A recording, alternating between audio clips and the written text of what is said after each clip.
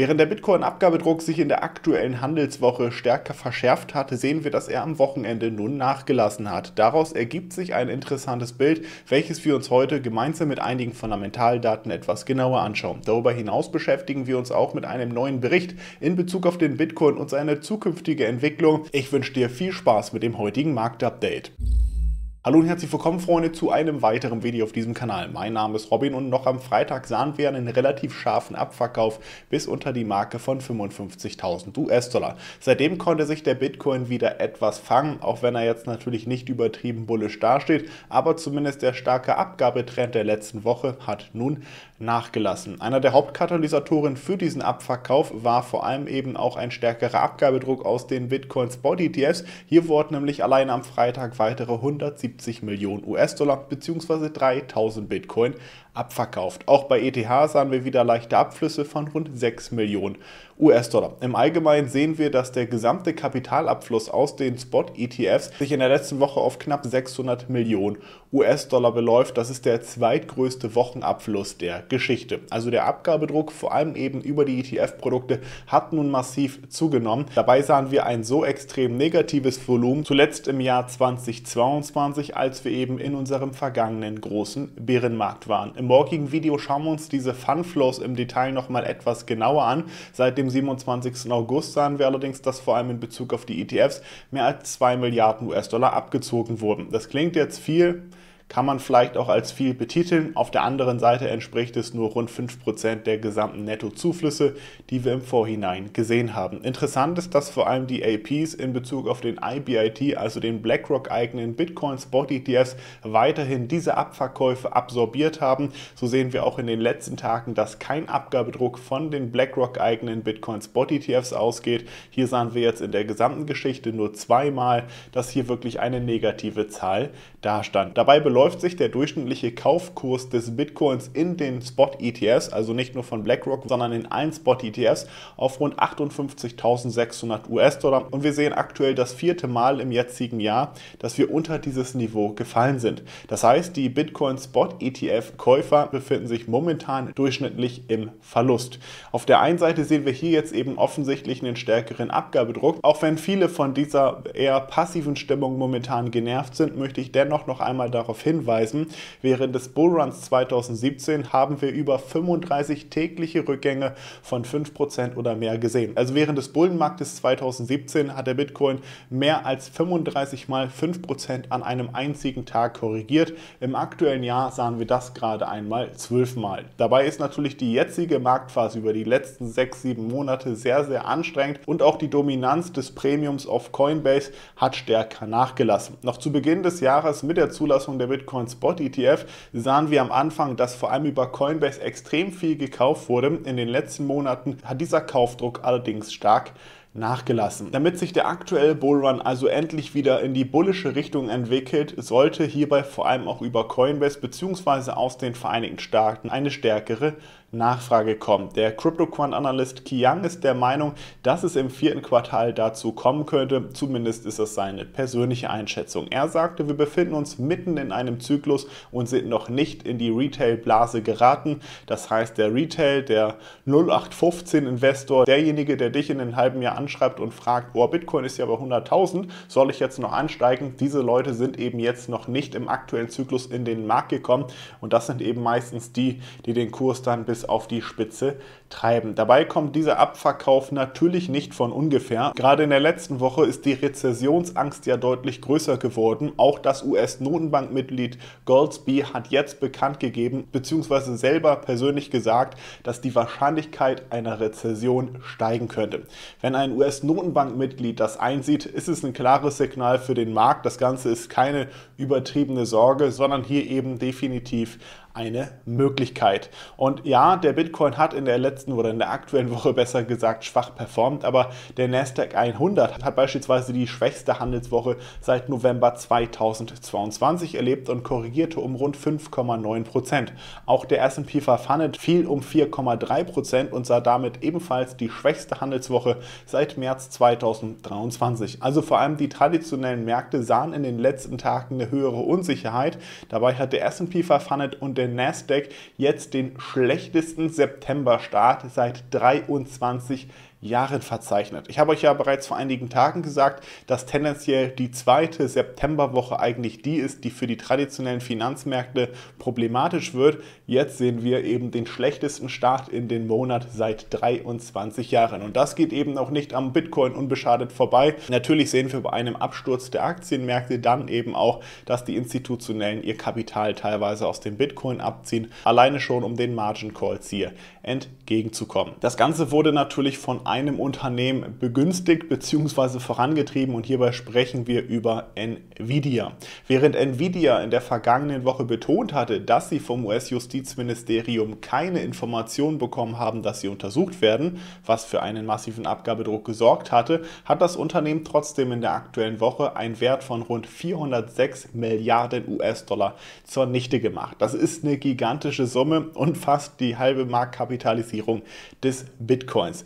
Beim Nvidia handelt es sich mittlerweile um eine der größten Technologiegiganten, die dann natürlich auch massive Auswirkungen auf die Indizes hat, wie wir uns ja in den letzten Monaten ausführlich genug angeschaut haben. Der weltweit größte Chip-Hersteller für künstliche Intelligenz hat aber in den letzten zwei Wochen rund ein Fünftel seines Wertes verloren. Die Nvidia-Aktien schwanken innerhalb von 30 Handelstagen zwischen 90 Dollar und 131 Dollar. Wir sehen also, dass ein Asset, welches mit 3 Billionen US-Dollar bewertet ist, also 1,5 mal höher als der gesamte Kryptomarkt inklusive Bitcoin, momentan extrem volatil ist und die realisierte Volatilität bei rund 80 liegt, ungefähr viermal so hoch wie bei Microsoft und doppelt so hoch wie bei Bitcoin. Also Nvidia ist momentan volatiler als Bitcoin. Nvidia reißt damit den gesamten Aktienmarkt hoch und runter und hat dementsprechend natürlich auch Auswirkungen auf die Gesamtstimmung. Zudem gibt es momentan Unsicherheiten in Bezug auf die Entwicklung von KI, denn Nvidia baut natürlich groß auf KI auf.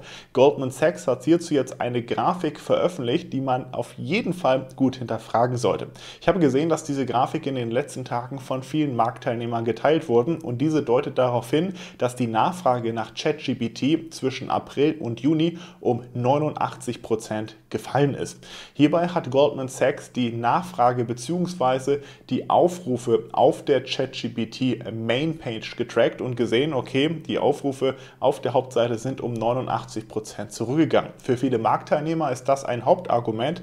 Jetzt sieht man, ChatGPT ist gar nicht so gefragt und die KI-Bubble platzt. Und vielleicht stimmt das sogar, dass ChatGPT vielleicht weniger genutzt wird, wie wir uns allerdings in den letzten Wochen bereits angeschaut haben, gibt es auch immer mehr Konkurrenz-KIs, egal von wem, egal ob man jetzt auf Facebook oder andere Technologiegiganten schaut, alle erstellen hier ihre eigenen KIs. Auch X hat mittlerweile eine eigene KI und natürlich kann es sein, dass sich das Volumen von ChatGPT dann eben auch auf andere KIs ausgleicht. Das sollte man meiner Meinung nach bei einer solchen Grafik berücksichtigen. Wobei, wenn man mal ganz ehrlich ist, ist diese Grafik sowieso nicht ernst zu nehmen. Warum? Goldman Sachs, einer der größten Banken überhaupt, hat in dieser Grafik einen riesigen Fehler gemacht. Das klingt jetzt übertrieben. Tatsächlich haben sie allerdings nicht berücksichtigt, dass sich die URL der Seite verändert hat. Stellt euch mal vor, ihr habt ein Produkt, welches unter der Seite www.x.com aufzufinden ist. Jetzt habt ihr einen riesigen Traffic, viele Leute kommen auf eure Seite. Jetzt sagt ihr, okay, wir ändern unsere Webseite, wir schalten sie von X auf Y um. Eure neue Webseite hat die URL www.y.com und natürlich werden die Nutzer jetzt nicht mehr auf x.com gehen, die alte Seite, sondern auf Y, die neue Seite. Und genau das hat ChatGPT mehr oder weniger gemacht. Sie haben quasi die Adresse geändert. Goldman Sachs hat hier allerdings nur die alte Adresse getrackt.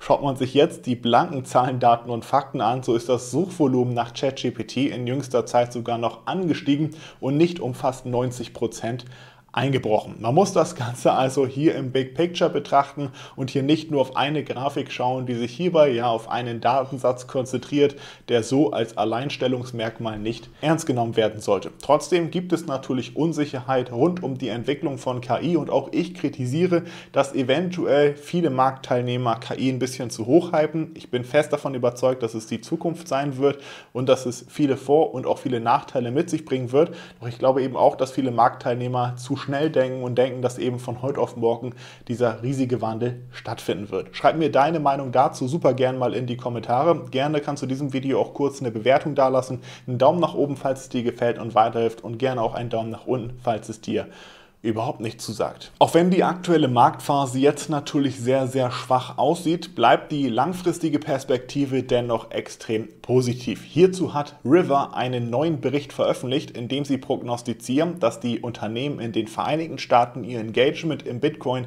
in den nächsten 18 Monaten erhöhen werden. Hierzu haben sie sich historische Daten angeschaut und gehen davon aus, dass rund 10% der in den USA ansässigen Unternehmen in den nächsten anderthalb Jahren wahrscheinlich im Schnitt 1, 1,5 ihrer Reserven in den Bitcoin investieren werden. Hierbei geht es eben darum, dass viele Unternehmen auf Cash-Reserven sitzen und natürlich Cash durch die Inflation immer stärker an Wert verliert. Daher nutzen auch viele Unternehmen Cash-Äquivalente wie Anleihen und Co. Hier geht River allerdings jetzt davon aus, dass eben 1,5% von 10% der Unternehmen hier auch eine Teilumschichtung in den Bitcoin vollziehen werden, was dann ungefähr rund 10,35 Milliarden US-Dollar entsprechen würde. Dabei denkt man sich das auch eben nicht nur so, sondern schaut sich die historischen Daten an und die Analysten von River haben hierbei eben herausgefunden, dass dies eben der aktuelle Trend ist. Sie betonen vor allem in Bezug auf die Anleihen, die oftmals als Cash-Äquivalente von den Unternehmen mit ins Portfolio genommen werden. Diese Investitionen können bescheidene Renditen in der Nähe des Leitzinses erzielen, derzeit über 5%. Doch selbst eine kurzfristige Investition übertreffen die Inflation oft nicht, was den Wert ihrer Reserve mindert. Wenn du also als Unternehmen hier Cash beiseite hast, einen Cashpuffer aufgebaut hast, den du auf deinem Konto liegen hast, verliert er sowieso gegen der Inflation an Wert. Selbst mit Investitionen in Anleihen kannst du die Inflation langfristig allerdings nicht ausgleichen. Der Bericht stellte beispielsweise auch fest, dass die inflationäre Aushöhlung auch dazu führte, dass Apple heute ein Billionenunternehmen in den letzten zehn Jahren 15 Milliarden Dollar seiner Reserven verloren hat, einfach weil sie hier das Geld nicht eben in einem harten Asset zurückgelegt haben, sondern in Cash und Anleihen. In Bezug auf Wachstum sehen wir hier einen Forecast, der im Worst Case predicted, dass wir im Schnitt rund 104 Bitcoin pro Tag sehen, die von den Unternehmen aufgekauft werden. Wie gesagt, das ist hier der prognostizierte Worst Case. Im mittleren Case sehen wir 356 BTC im Schnitt pro Tag und im Bull-Szenario 500. 19. Und das klingt jetzt gar nicht so viel, dabei muss man das Ganze, wie gesagt, langfristig betrachten. Und ein kleiner Hinweis ist hierbei vielleicht auch ganz interessant. Derzeit kommen im Schnitt rund 450 Bitcoin pro Tag neu ins Netzwerk. Die Hälfte dieser Bitcoin-Menge wird also selbst im Worst Case von diesen Unternehmen absorbiert, was einfach bedeutet, dass quasi die verfügbare Bitcoin-Menge, die ins Netzwerk kommt, noch stärker reduziert wird. Und dabei darf man nicht vergessen, dass wir eben vor April des aktuellen Jahres Jahres, also vor dem Halving, noch rund 900 Bitcoin pro Tag hatten, die ins Netzwerk gekommen sind. Vor 2020 oder dem Halving 2020 sahen wir sogar, dass 1800 Bitcoin pro Tag ins Netzwerk gekommen sind. Durch das Halving wird eben dieser Block Reward immer um die Hälfte reduziert und während auf der einen Seite der Block Reward bzw. die Inflation des Bitcoins reduziert wird, steigt auf der anderen Seite die Nachfrage. Die Auswirkungen hierauf langfristig kann sich, glaube ich, jeder selbst ausmalen. Spannend finde ich hier vor allem auch in den historischen Daten, dass wir beispielsweise im Jahr 2021 und 2022 sehen, dass die Akkumulation hier im Bärenmarkt reduziert wurde. Jetzt gerade, obwohl wir ja wirklich eine Bärenstimmung haben, ist die Akkumulation trotzdem in ihrem Trend verhangen. Grundlage überhaupt für diese Annahme, dass jetzt mindestens 200 Bitcoin pro Tag im Schnitt von Unternehmen aufgekauft werden, ist selbstverständlich die Strategie von MicroStrategy, die nicht nur ihre Cash-Reserven im Hintergrund in den Bitcoin investieren, sondern darüber hinaus sogar auch noch vorrangige Wandelanleihen rausgeben, um damit weitere Bitcoin zu kaufen. Der jüngste Schritt war jetzt der Verkauf vorrangiger Wandelanleihen im Wert von 800 Millionen US-Dollar, die zu einem Zinssatz von 2,25 Prozent und einem Fälligkeitsdatum von 2032 zurückgezahlt werden sollen. MicroStrategy verwendete diese Mittel, um die Unternehmensreserven in Bezug auf den Bitcoin um weitere 11.931 Bitcoin aufzustocken. Und das möchte ich auch ganz klar dazu sagen. Wir sprachen jetzt eben von einem Bear Case von 200 BTC pro Tag. Das heißt natürlich nicht, dass wir hier jeden Tag ein Unternehmen sehen, was sagt, jo, wir haben heute 200 Bitcoin gekauft. Hierbei kann man natürlich auch eine Woche oder Monate lang gar nichts sehen und dann eben solche großen Einzelkäufe, was dann eben den Schnitt im Bear Case von über 200 Bitcoin pro Tag beträgt.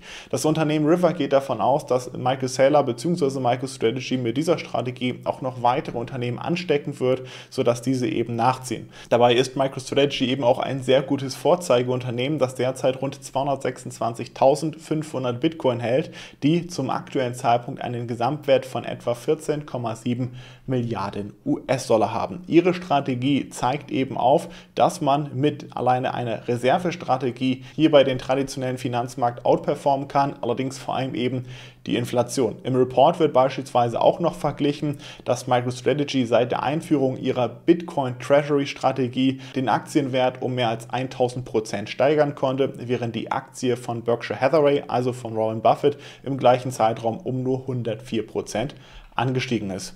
Ich will das gar nicht kritisieren, auch 104,75 Prozent wie von Berkshire Hathaway im, selben Zeitraum waren eine wirkliche gute Performance.